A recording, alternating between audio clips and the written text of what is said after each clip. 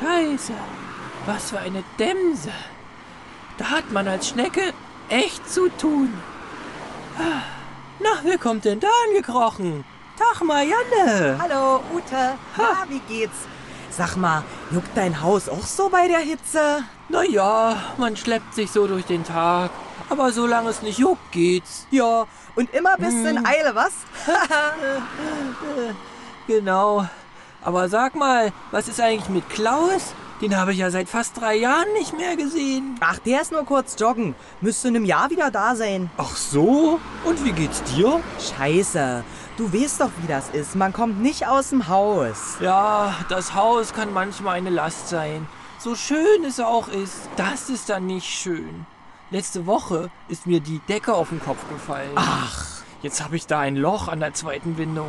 Das muss nur schnell wieder geflickt werden. Meine Haut wird vom Durchzug ganz trocken, weißt du? Ach, das ist ja blöd. Ja.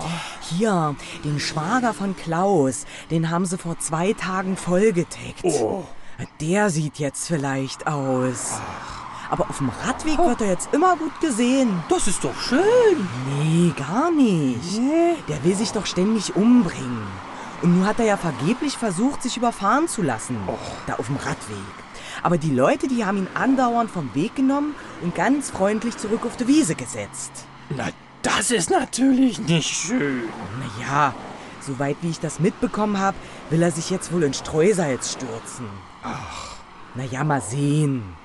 Och, nur ist ja auch schon wieder übermorgen. Ich muss mal wieder. Also, bis später, Marianne. Ja, bis denn. Ja, tschüss.